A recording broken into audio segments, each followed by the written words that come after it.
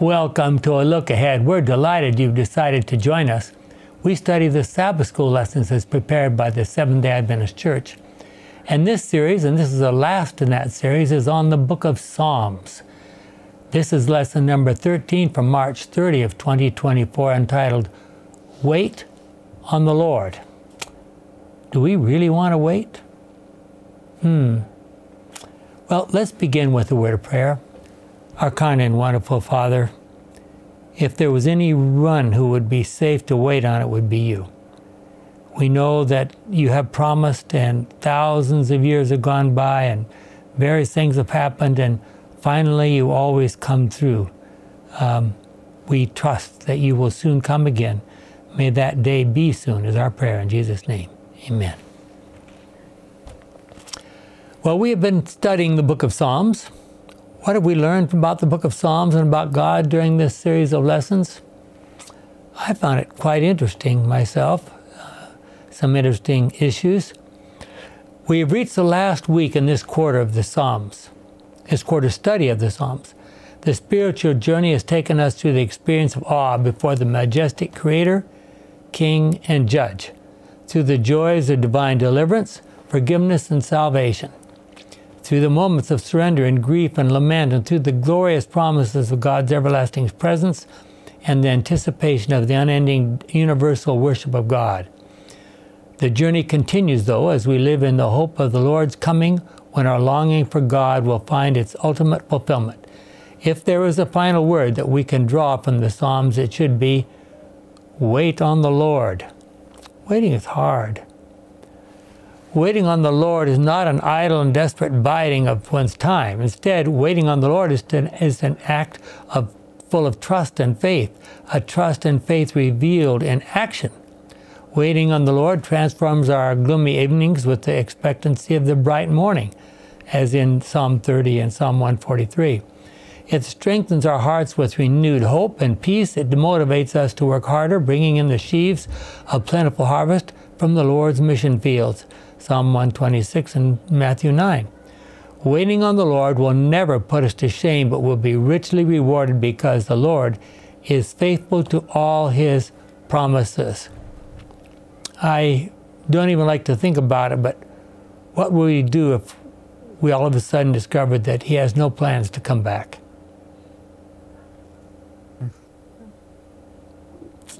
I, I feel sorry for people who are atheists and don't believe God is.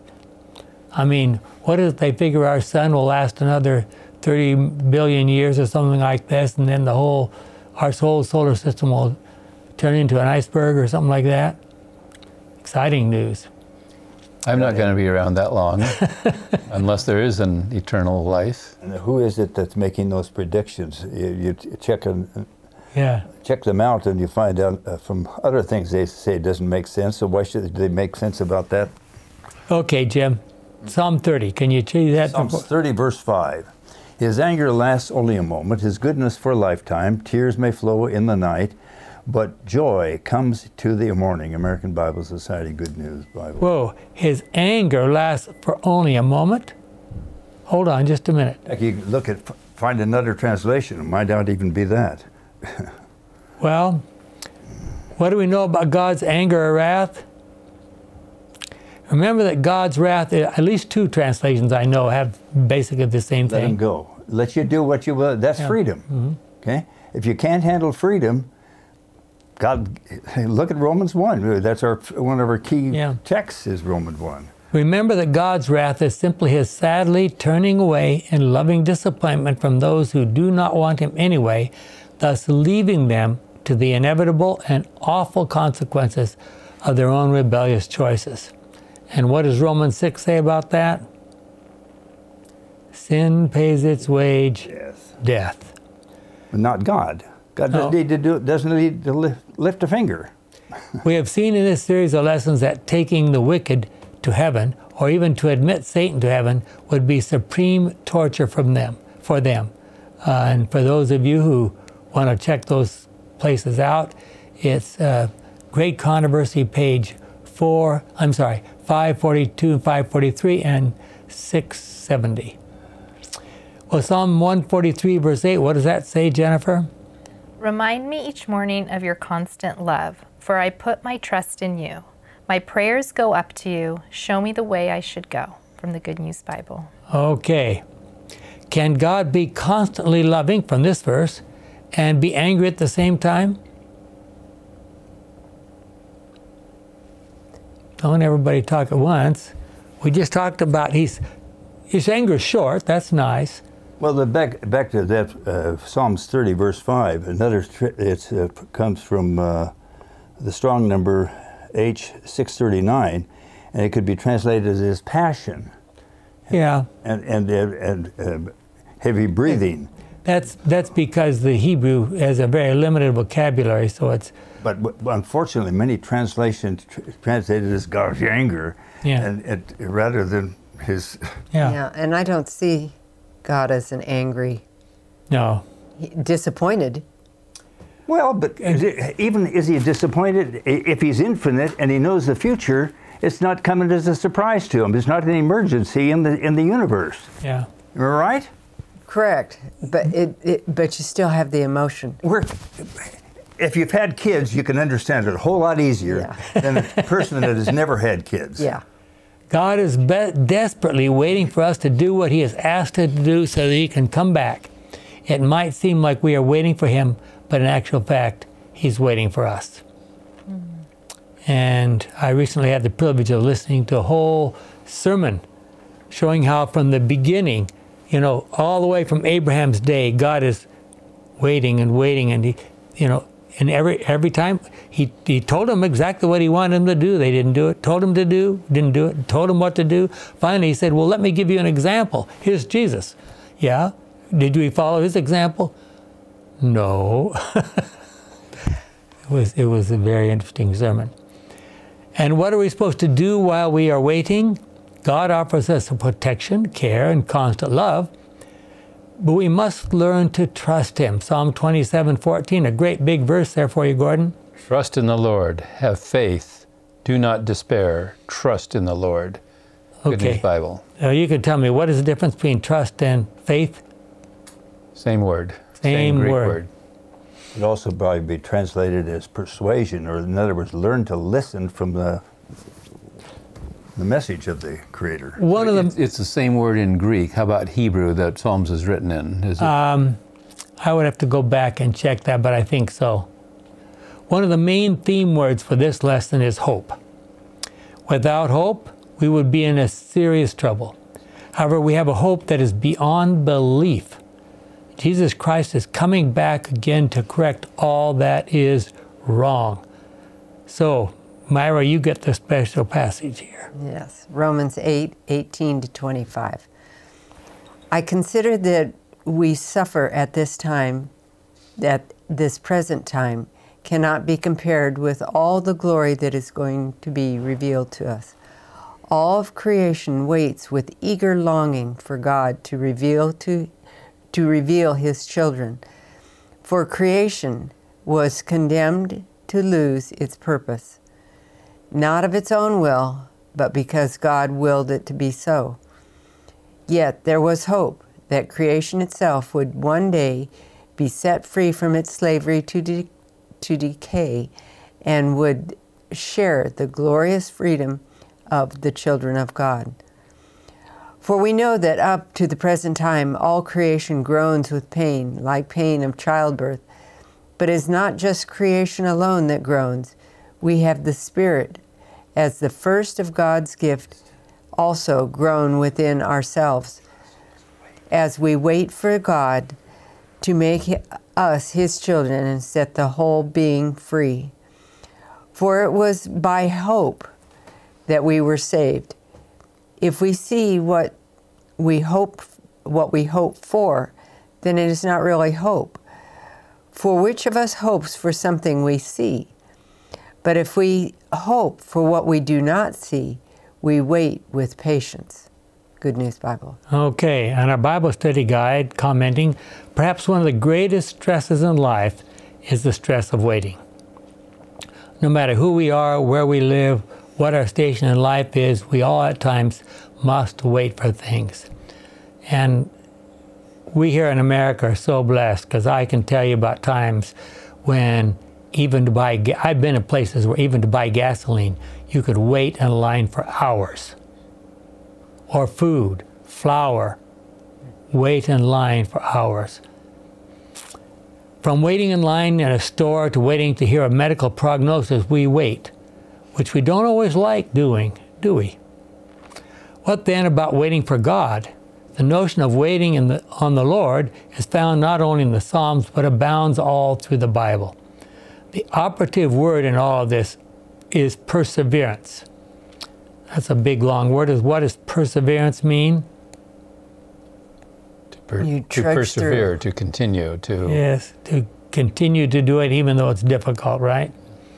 Is our supreme commitment of refusing to succumb to fear of disappointment that somehow God will not come through for us.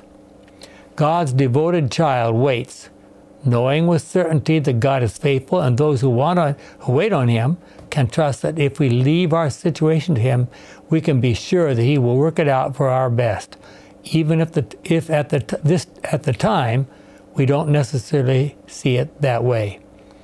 And even Jesus struggled with that a few times. Uh, it, it's it's not a I mean it's not a sin to struggle with waiting. Waiting on the Lord is more than just hanging hanging on. It is a deep longing for God that is compared to intense thirst in a dry land. The psalmist waits on many blessings from God, but his yearning to be brought close to his God surpasses any other desire and need in life from our Bible study guide for Sunday. So, are we really indeed waiting with earnest longing for the coming of the Lord? Or do we silent, we sort of subconsciously hope that we're having a good time, Lord, just delay a little bit? I mean, isn't that the message of a lot of people in the world? I remember thinking that as as a preteen teenager. Yeah. Just wait just a little bit. Let me get married. Let me have Yeah. children. Let me have. Yeah. That's because you loved being a teenager so much, huh? I hated being a teenager. If you go back up to uh, that verse, uh, Psalms 24, seven, excuse me, 27, 14, uh, the King James says, wait instead of trust. Yeah. Okay. So it, uh, and it's more in keeping with the title of the, the, Wait. the yeah. study. So anyway, that's, Yeah, okay. Okay, now, um, what has God asked us to do while we wait? We are to bear witness to the trust, love, and hope that we have in Him. Remember that if Christ does not intend to come back for us, there was no reason for Him to come the first time. Stop and think about the implications of that. If He doesn't plan to come back, there was no reason for Him to come the first time. Acts 1. what do you do with what Acts 111? He says, uh, the same Jesus is going up is coming back. Yeah. Was the one Well, he, a s- book he said lies? repeatedly that, that he's going to come back. I'm just saying, yeah, I mean, obviously, Trying to run the logic uh, to Yeah. the conclusion, yes, I understand. yeah. Acts 1, 4 to 8. And when they came together, this is talking about the disciples immediately after all that incredible weekend. And when they came together, he gave them this order Do not leave Jerusalem, but wait for the gift I told you about, the gift my father promised. John baptized with water, but in a few days you'll be baptized with the Holy Spirit. And did any of them say, Hold on, wait, wait, wait, wait, wait? What do you mean by that? Maybe they did, but it's not recorded. It's not recorded. Um, there some people who've, and I've asked this same question myself. Uh, this Pentecost experience was ino- incredible. We're not talking about that right now, but think about them. They could speak any language, but the Holy Spirit came down on Cornelius and his family. He was a Roman centurion in the same way that he came down on the disciples at Pentecost. Was that the real Pentecost where a Gentile experiences that experience? Even a Gentile who knew nothing about God. Well, he, he no, he, He, he was he was He part of the synagogue, wasn't he? he was he, he helped. He, he he supported them, and he was he was looking for God. He, let's say he was pushing toward God. Well, when the apostles met together with Jesus, they asked him, "Lord, will you at this time give the kingdom back to Israel?" Oh, give me a break. I mean, they, they- unfortunately, they had been told this story so many times since they were little children that Jesus said to them, The times and occasions are set by my Father's own authority, and it is not for you to know when they will be. But when the Holy Spirit comes upon you, you will be filled with power, and you will be witnesses for me in Jerusalem and in all Judea and Samaria and to the ends of the earth. And I'm just reminded of a funny story I heard today. A very wealthy man, some of you people would know him, eh, or know, know about him if I gave you his name. He said, There's just one thing I want to know, and that is, where am I going to die? Because I'm going to avoid that place as much as possible. yeah. Well, in this lesson, we will see some interesting ideas used to present the truth about our waiting and trusting in God. Jim, Psalm 131, 1 to 3. 130 verses 1 to 3. Lord, I have given my excuse me, I have given up my pride and turned away from my arrogance. I am not concerned with great matters or with subjects too difficult for me. Instead, I am content and at peace.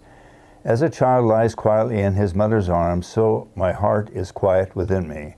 Israel, trust in the Lord now and forever. Okay. God is, God is asking us to practice love. Love is the essence of His kingdom while we are still on this earth, and will be for eternity, I might add. Unfortunately, we are born selfish. This um, has a tendency to cause us to become self centered. All we want to think about is ourselves. We are blinded to the higher cause of love, which is the nature of God. Understanding God's love is a challenge.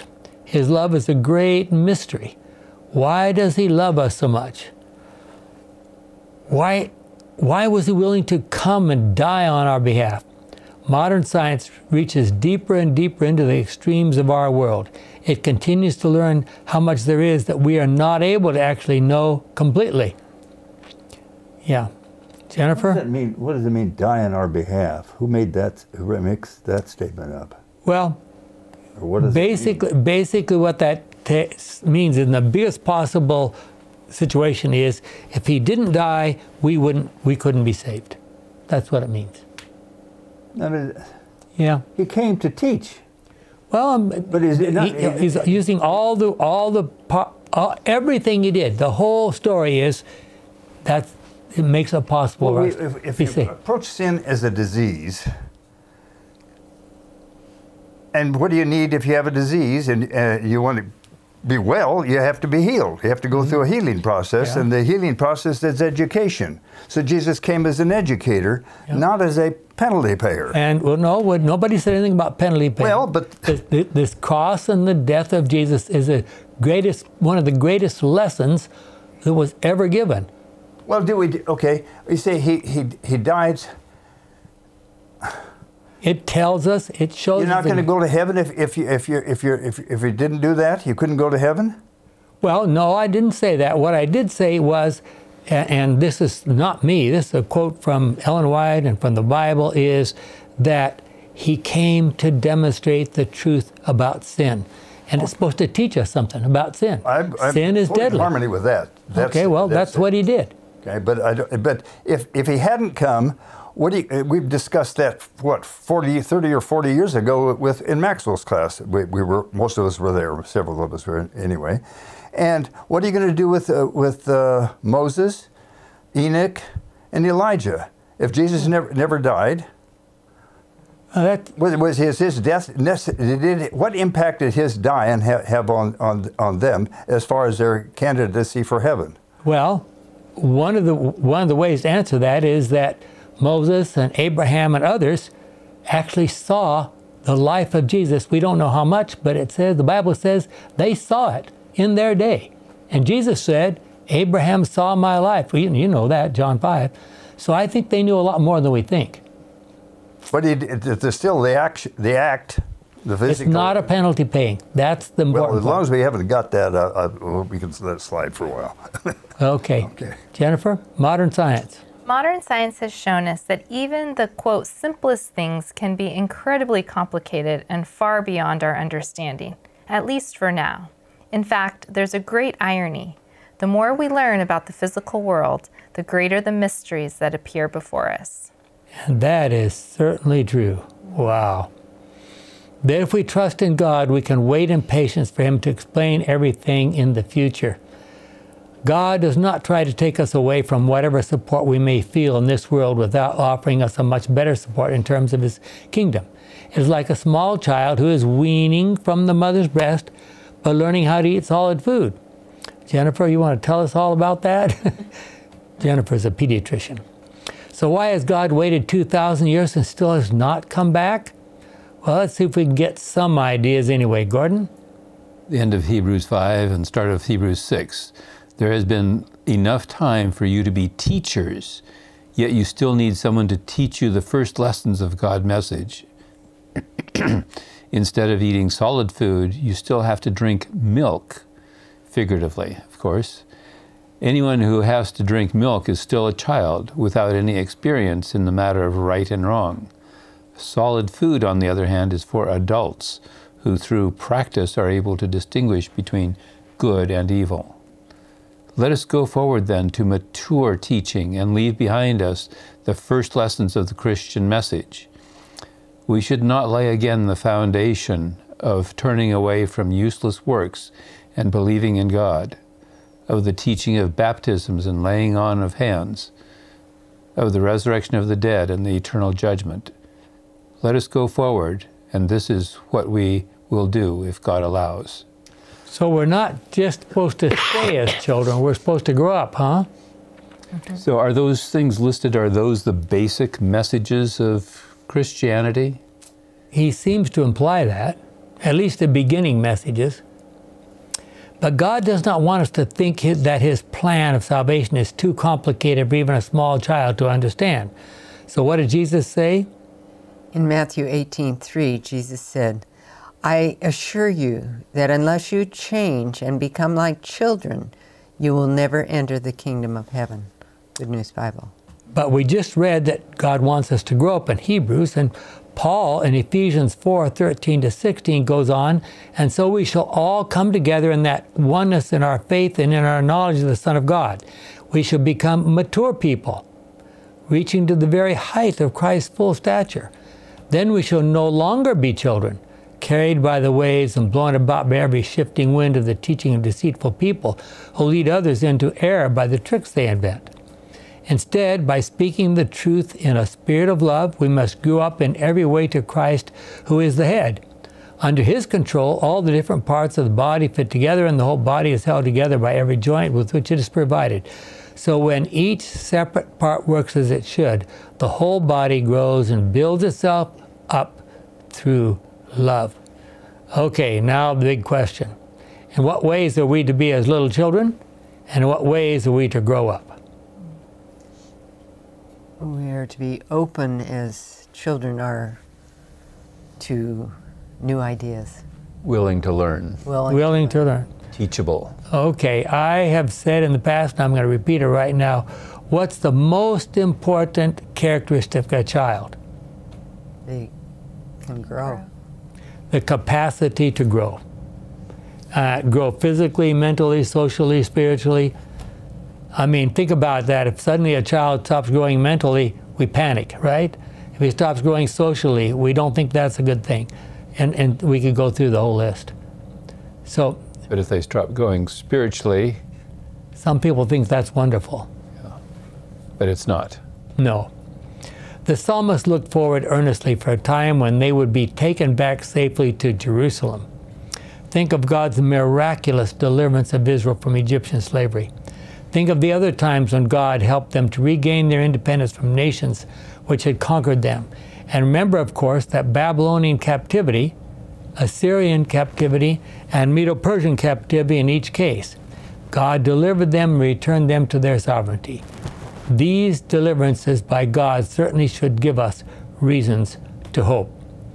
Many years after the Psalms were written, Isaiah talked about those nations that had conquered at least portions of Israel. Isaiah 29, 7 and 8. Then all the, I think that's mine, then all the armies of the nations attacked the city of God's altar. All the weapons and equipment, everything will vanish like a dream, like something imagined in the night. All the nations that assembled to attack Jerusalem will be like a starving person. I, I, this is an incredible metaphor. Like a starving person who dreams he's eating and wakes up hungry. Or like someone dying of thirst who dreams he is drinking and wakes up with a dry throat. Mm. Quite a picture. Does this have anything to do with the conflicts in the Middle East today? That's something to think about. So, one of our challenges is to review and to review again what God has done in the past, to see what we can learn from those experiences. And those recoveries should give us renewed hope. Through Moses, God had given them some powerful promises. And just look at these examples. Jim, I think we got Deuteronomy. Uh, chapter 11, verse 14. If you do, he will send rain on you excuse me, on your land when it is needed in the autumn and in the spring, so that there will be corn, wine, and olive oil for you. Good News Bible. And then in Deuteronomy 28 12, he will send rain in season from his rich storehouse in the sky and blessings and bless all your work, so that you will lend to many nations, but you will not have to borrow from any. Good News Bible. Okay, one of the motifs that God has used to teach his children about the, necess- the necessity of being patient is to think about the harvest. One has to cast his seed into the soil and wait and wait more for it to come up to, up to come up to sprout and to yield its abundance. It is interesting to notice that God intended for the children of Israel to enter the land of Canaan and drive out some fearsome, fearsome enemies.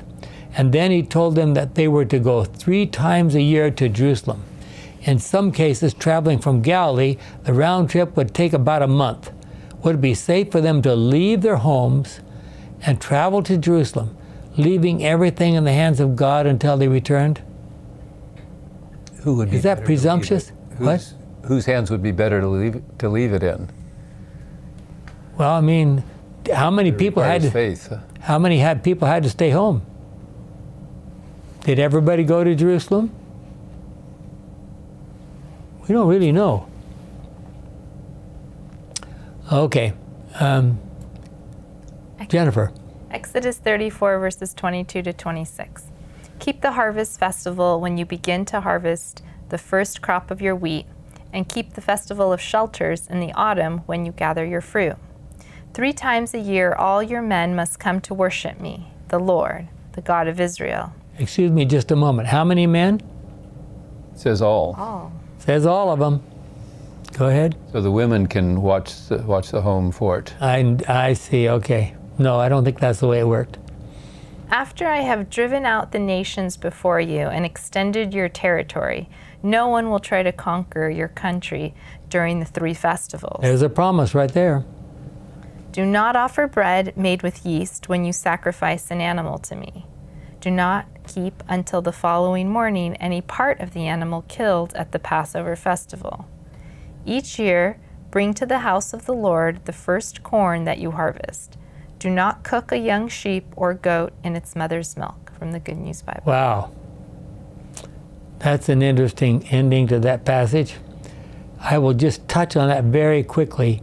There is pretty good evidence now that we have done a lot, a lot of more archaeology that this was a custom of the fertility cult religions around in that area. And so God is specifically warning them don't get involved in those businesses. Mm. Well, what would we do if we felt that God expected us to take up to a month, three times a year, to travel to a certain place and celebrate what He has done or what He is doing now?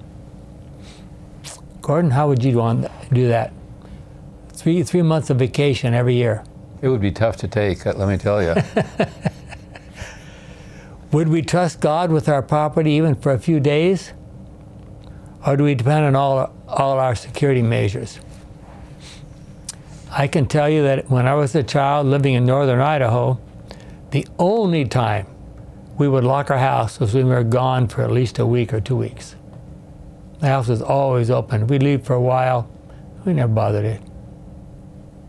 I don't think we ever had a key to our house. you don't think you even had a key. We had a key. Can you think of times in your own life when you saw unmistakable working by God to preserve your life and the lives of others or help you in uh, some other way? And there are long Psalms here that are just wonderful. I wish we had time to read them. So, read Psalm 92 if you, if you have a few moments. But here's a comment about Psalm 92. From the Bible Study Guide The praise of God for the great works of his hands and the Eden like portrayal of the righteous clearly point to creation, the first aspect that the Sabbath commemorates. The psalm also magnifies the Lord for his victory over enemies as the God of justice, and so reinforces the second Sabbath theme, redemption from evil, Deuteronomy 5. Thus, Psalm 92 extols God for his past creation and present sustaining of the world, and it points to the end time hope in eternal divine peace and order. From the Bible Study Guide for Wednesday. So, what we're starting to see here is a picture where they recognize that the, the, the yearly celebrations, three times a year, and the Sabbath, weekly Sabbaths, etc., each one of this, these things had links to things that happened to them in the past and reminded them of God's promises and his hopes for them. We live in a wicked world, places where there are thieves and murderers surrounding us. Even in this environment, can we trust God? I mean, you turn on the news in the morning, and the first thing you hear is somebody's been killed. In ancient times, special individuals were set apart as priests or kings by the anointing of oil from a prominent leader, usually the high priest. In Ezekiel 20, we are told several times that God has given us the Sabbath as a special holy day for us to commemorate and remember all that He has done for us and all that He plans to do for us. Ezekiel, let me just read Ezekiel 20:20. 20. I think we have time to do that. Make the Sabbath a holy day so that it will be a sign of the covenant, that's the agreement that we made, and will remind you that I am the Lord your God. So, what's the purpose of the Sabbath? Remind us that we have this in agreement. Okay? Compare Exodus 31:13, which says more or less the same thing, and Hebrews 4 1 to 10. Again, in Psalm 92, the psalmist repeats the trust and hope that he has in God, who protects him under whatever circumstances. It is safe for him to go to sleep at night because he will wake up happy.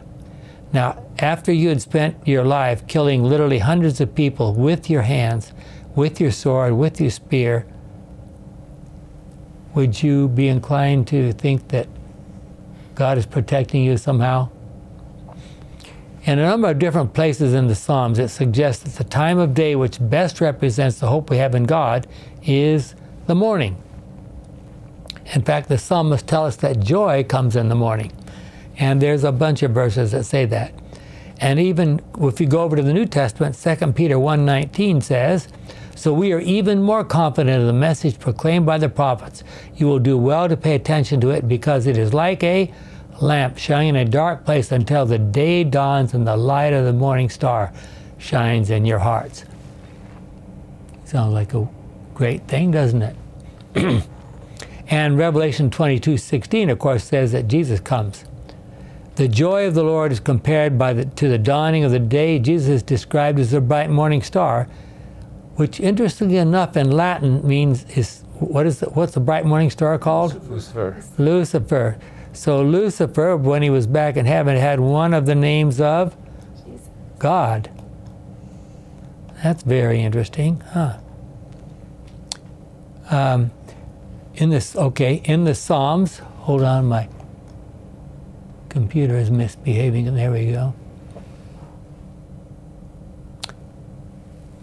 Jim, in this, I'm sorry, Myra, in, in the Psalms? From the Bible Study Guide, says In the Psalms, morning is typically a time of day when God's redemption is anticipated. Morning reveals God's favor, which ends the long night of despair and trouble. Psalms 30, uh, 130. And in Psalms 143, God's deliverance will reverse the present darkness of death. 143 verse 3 into the into the light of a new morning and from the being and from being in the pit these are all from one Psalms 143 to residing into the land of uprightness Okay, so again, I wish we had time to read all of Psalm 143, but we don't. Clear that the psalmist felt that his only hope for protection was in the Lord. Do we feel that way today? Uh, if you remember the story, one time David was hiding in a cave, and what happened?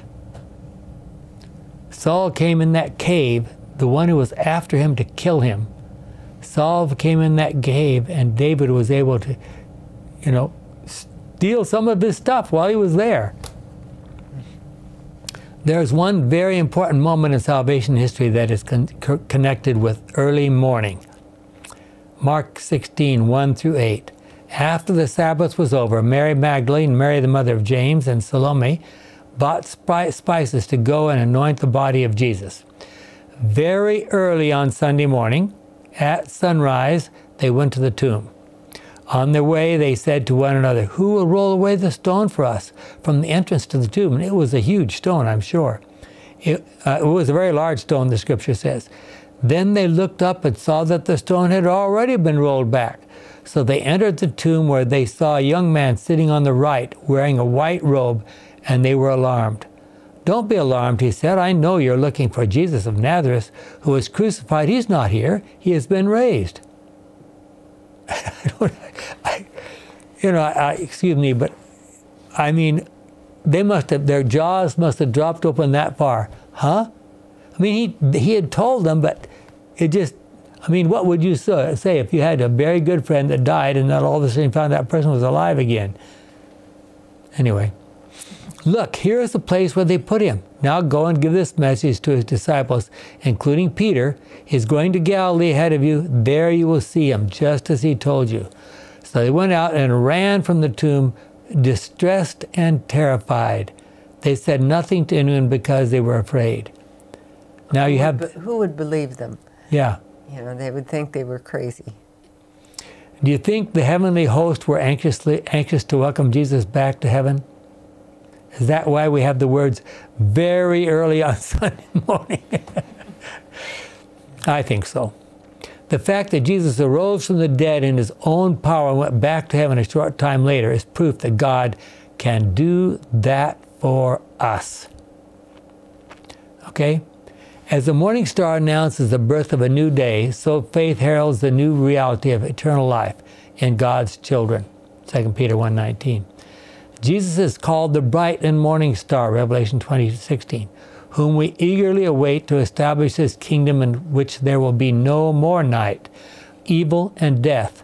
Revelation 21 1 to 8 and 25. In the end, more than anything else, this is what we are waiting for when we talk about waiting on the Lord. And surely the wait is worth it. yeah. Okay, we've already read 2 Peter 1.19. But so, so, we're even more confident of the message proclaimed by the prophets. You will do well to pay attention to it because it's like a lamp shining in a dark place until, until the day dawns and the light of the morning star shines in your hearts. And Ellen White's comment, Jim? Uh, over the rent sepulchre of Joseph, Christ had proclaimed in triumph, I am the resurrection and the life. These words could be spoken only by the deity. From Desire of Ages 653 and 654. 753, 753. Excuse me, 753, I'm sorry. All creature, excuse me, all created beings live by the will and power of God. They including are, the devil himself, by the way. Correct. They are dependent recipients of the life of God, from the highest seraph to the humblest animate being. All are replenished by the source of life. Only he who is one with God could say, I have power to lay it my life down, lay down my life, and I have power to take it up again. In his divinity, Christ possessed the power to break the bonds of death Ellen White, Desire of Ages, six, page 685. 785. Seven, I don't know what's got Got a problem with sixes and sevens. Okay, Jennifer. From the Bible Study Guide Death, it has been said, has been etched in our cells at birth. Though true, at least for us fallen beings, what has the resurrection of Jesus promised us about the tempora- temporality of death? Why must we never forget just how temporal death is for us? Okay.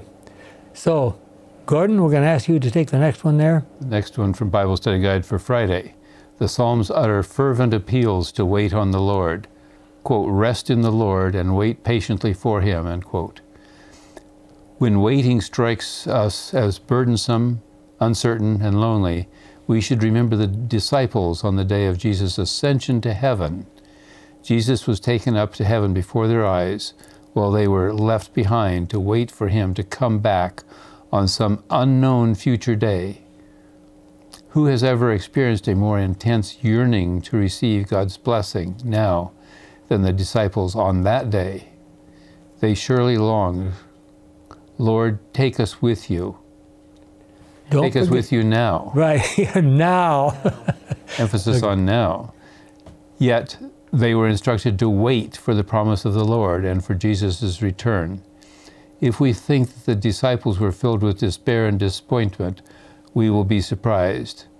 They returned to Jerusalem and did exactly what Jesus told them. They waited for the gift of the Holy Spirit and then preached the gospel to the world with power. yeah.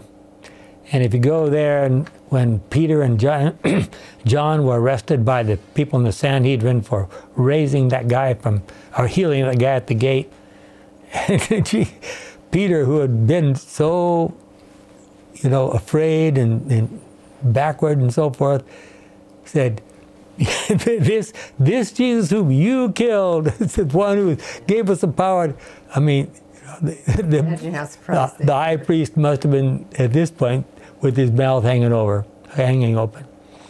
Try to imagine yourself with the 11 disciples standing on the Mount of Olives and watching Jesus ascend slowly to removed to be removed by a cloud of angels and taken up to heaven. You know, just imagine here you're watching somebody, you just walked up here and all of a sudden they're going, Whoosh, and you say, hold on, how, how, how did he do that, right?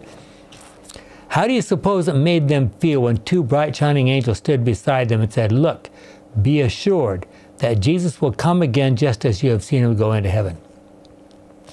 Some people have questioned how we are to distinguish the true second coming of Jesus from those false messiahs and false Christs, read about it in Matthew 24, that we are told will come before him. The answer really is not very complicated. When the true Jesus shows up, all we have to do is look up. The entire heavens will be filled with bright, shining angels, and Satan will never be allowed to duplicate Christ's coming. From Steps to Christ, page 75, it says, Then, if Christ is dwelling in our hearts, he will work in us both to will both to will and to do his good pleasure. Uh, Philippians 2, verse 13. We shall work as he worked. We shall manifest the same spirit, and thus, loving him and abiding in him, we shall grow up into him in all things, which is the head, even Christ. Ephesians 4, 13, uh, 15. Think of the, all the great heroes of faith who had to wait for long periods of time before they could receive what they were waiting for. Can you immediately think of an example? Sarah and Abraham, sure. Think about Abraham and Sarah waiting for a baby until they were far past the time when babies could have been born to them by all the natural means that we know about. He, Abraham was given that promise when he was 75, and how old is he when his baby when his baby was born? 100. 25 years they waited. It's a long time. Moses waited for 80 years before God finally gave him his work of leading the children of Israel out of Egypt. I mean, you got to be 80 years old before you can start your life work, right? and there are many others mentioned in Hebrews 11. Of course, we know that the waiting time will come to an end with the second coming of Jesus. And what about those who've already died? For each one of them, the next moment in time that they're aware of is when they will see Jesus, either at the second coming or some at the third coming. Abraham was given that incredible challenge and promise at the age of 75. 25 years went by when it seemed like he was too old and he was given the promised child. Try to imagine the children of Israel living for more than 100 years through that Egyptian slavery and waiting for God to do something. Okay. Jim, I think we're back to you now. Waiting is made up of two variables. One is the anticipation of the fulfillment of the promise, and number two, the expectation that that what is promised will be fulfilled within or by a certain time in life. When we wait we actively anticipate an event to come. Whether we wait excuse me await a new job an imminent wedding the birth of a baby the completion of an academic degree an upcoming voyage a new appointment etc a lapse of time must transpire between the anticipation of the event and the and its fulfillment the same is true for God's promises to in daily life as well as for the ultimate fulfillment of the great events in the plan of redemption from the Bible Study Guide. Okay, now we're going to dive into some Hebrew that um, we may not fully understand. I'm sure I don't. There are six Hebrew words used by the psalmist to describe uh, waiting or hoping, and it's in the from the teachers, adult teachers Sabbath school. The first Hebrew word for waiting or hoping is kavah, which means to wait for, to wait, or to expect. Okay, that seems pretty straightforward, right? This word is used 20 times in the Psalms. Each time it suggests that God is the one for whom we should wait. So now here we're talking about waiting, specifically for what? For God. The word can also be used in a negative sense, in, as in waiting for your enemies to conquer you. That's not so much fun. The second he, word for waiting or hoping is Yahal. Okay, Jennifer, you want to take on that one? In the Bible Study Guide, Yahal means, quote, to wait, hope, endure, long for. It is usually connected with Kawah.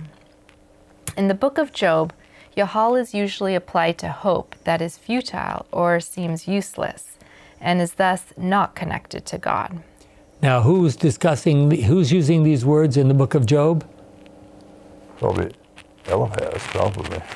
There's always a big argument back and forth, and between Job, probably some of it, some of it might be Job's words. Okay, go ahead. But such is not the case in the Psalter. God is the explicit object of the hope that is rendered from Yahal, as indicated in Psalm 31:24. Quote, "All you who hope in the Lord." Psalm 33:22. Quote, "Just as we hope in you." And Psalm 38:15. Quote, "For in you, O Lord, I hope." Psalm 39:7. Quote, "My hope is in you." Psalm 42:11. Hope in God and Psalm 69 3, quote, My eyes fail while I wait for my God. Our Creator is worthy of all our confidence. Our trust in His faithfulness and love is the foundation of all true religion and the basis of the relationship between God and humans. This relationship is based on His mercy and on His loving kindness, which He bestows upon those who trust in Him. from Psalms 33:18 and Psalms 147:11. Okay, so in other words, there's lots of things that the psalmists were waiting for and hoping for and, and really longing for. appears to be that was uh, Job's in, in uh, uh, chapter six of Job, the quotation. It, Job six is Job, yeah. yeah, yeah, and 29 is Job also. I know for sure. I don't know about 14. Uh, it should be clear to all of us by now that it is in the pages of Scripture that we find the evidence for basing our trust and hope in God. So, this is a hint of something that we need to always emphasize. Faith is based on what? Evidence. Evidence. Faith is based on evidence. So, um, Another Hebrew word for waiting is, and I don't even know how to pronounce this, hakah. Gordon? That word, hakah, or however you say it, means to wait, endure, expect, hope. I'm The- going to uh, interrupt for just a second. We've noticed we've come from just a simple waiting uh, with our first word, but now these words are starting to include endure, expect, hope. Okay? The object of Hakah is usually God, and there are a bunch of references from the Teacher's Bible Study Guide. Okay. Living in our modern secular materialistic culture, we, we tend to put our faith in money, our abilities, our degrees, science, or even in our countries. We are thankful, some of us very thankful, we live in a country where at least we're supposed to have complete freedom. As Christians, our trust should rest primarily in the Lord. And Psalm 33, 1 through 17, this psalm says that God is ultimately in control of everything. And I, let's, let's read a few of those verses. All you that are righteous, shout, shout for joy for what the Lord has done. Praise him, all you that obey him. Give thanks to the Lord with harps. Sing to him with stringed instruments. Sing a new song to him. Play the harp with skill and shout for joy. The words of the Lord are true and all his works are dependable. The Lord loves what is righteous and just. His, his constant love fills the earth. The Lord created the heavens by his command, the sun, moon, and stars by his spoken word. He gathered all the seas into one place. He shut up the ocean depths and storerooms. So it sounds like, I mean, the message of this psalm obviously is that God is control, pretty much in control, control of everything, isn't he? Psalm 106 is another place where it's a review of Israelite history. Psalm 105 and Psalm 106 both are based on okay, what do we learn from this story? What do we learn from this story? And obviously, we don't have time to go back and look at all those things. Perhaps the most telling portion of that psalm is in verses 13 to 21, the stories of the gold bull calf. And what do we learn from the story of the gold bull calf? Frightening children- people lasted not very long. 40 days after God spoke to them from Mount Sinai, they're dancing drunk and naked around a gold bull calf, and they're claiming that that bull calf is Yahweh who brought, took them out of, brought them out of Egypt. That's scary. And also the story of the rebellion of Korah, Dathan, and Abiram. What happened there? They were sucked. Remember, these people decided Moses and Aaron didn't know how to lead us. We're going to find some people who will lead us where we want to go. No. And what happened to them? The earth opened up and swallowed them, right? Many times in the wilderness wanderings, the children of Israel turned away from God. Another Hebrew word associated with waiting and hoping is duma. Okay? Bible Study Guide says Duma is a noun that means silence, rest. It refers to the silence of death. That's pretty silent. Pretty silent. Yeah. Duma refers to the silence or rest that reflects trust in God, or to the lack of silence that results from God's apparent inactivity. From a uh, new inactive? inactivity. Well, in other words, you're you're hoping and you're trusting and you're when is God gonna do gonna do something? And you're just sitting there waiting Yeah. for God to do something. Yet another Hebrew word is associated with waiting and hoping is sabar. Our Bible study guy says the verb sabar is used less often for hope in the Old Testament than the other words that we've considered thus far. Sabar conveys the idea to expect, hope, examine. What would examine? How would examine fit in there? The psalmist states with confidence, Happy is he who has the God of Jacob for his help, whose hope, Sabar, Sabar, is in the Lord his God. Trusting the Lord will bring happiness to the believers even in the midst of trials. We have studied about the reasons to trust God and to worship Him. The core of these reasons is hope. Psalm 145, verse 15. Jim? All living things look hopefully to you, and you give them food when they need it. Good News Bible. Okay, who supplies the food for the animals and for the birds? And still another Hebrew word associated with waiting and hoping is hill. Jennifer? In the Bible Study Guide, the verb hill means, quote, to labor, writhe, tremble, and also to bring to labor or brought to birth. Thus, Psalm 37 7 can be translated literally, quote, rest in Yahweh and travail or bring forth in birth for him. The implication is that the long suffering endurance we must have as we wait for God's promises to be fulfilled is like the anguish of an expectant mother ready to deliver her child. This period of suffering implies hard labor, intense pain, and tears. The result of the newborn baby, however, offsets the anticipation and experience of suffering. Hmm.